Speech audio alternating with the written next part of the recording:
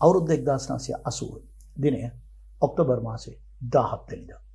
මේ චිත්‍රපටය ලංකාවේ හදපු දෙමළ චිත්‍රපටයක් මේ චිත්‍රපටයේ නම අවල් ඔරු ජීවනති එකනේ ඇය ජීවන ගීතයයි.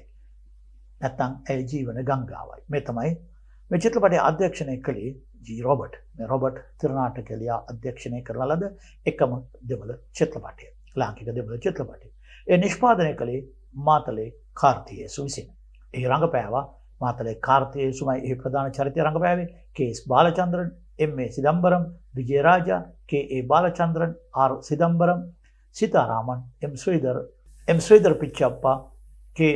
Kumar ෆරිනාලායි චන්ද්‍රකලා අනුෂාදේවී කියන නළුනිලියන් පෙළ. චිත්‍රපටයේ කතාවත පස් තිරනාටික ලිව්වෙත් මාතලේ කාර්තිකය සුවිසින්. ගීත රචනා කරා ඊලන්තු රත්නම් නැතම් ඊරත්නම් මෞනාබුරු මාතලෙයන් සහ මාතලේ කාර්තිගේසු. චිත්‍රපටේ ගායනා කලා ජෝසප් රාජේන්ද්‍රන් සුජාතා අත්තනායක වී සූරිය කුමාර මුත්තලගේ එන්වR තන්දාදි පිල්ලේ ඒ මනෝහරන් ස්ටR කනපති පිල්ලේ ඇතුළු පිරිස චිත්‍රපටේ කලා අධ්‍යක්ෂණය කළේ ජේ වින්සන්.